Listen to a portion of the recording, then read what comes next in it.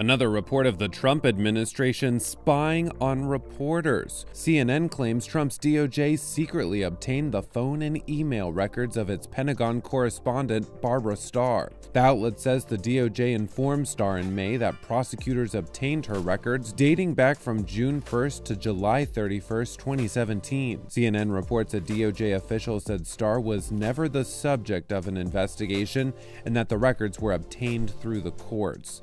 It's the latest latest instance of federal prosecutors targeting reporters as part of a probe on leaks from the White House. Earlier, the Washington Post confirmed the DOJ had also sought phone records from its reporters related to alleged ties between the Trump campaign and Russia. It's unclear who was in charge of the DOJ at the time of these requests. CNN's president Jeff Zucker said the company strongly condemns the secret collection of any aspect of a journalist's correspondence, which is clearly protected by the First Amendment.